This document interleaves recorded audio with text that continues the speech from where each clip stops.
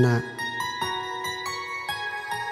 20 tahun lagi kamu akan paham apa artinya lagu ini. Tumbuhlah dewasa, kuatkan dirimu untuk melawan kerasnya dunia ini. Ayah, ibu akan selalu ada untukmu.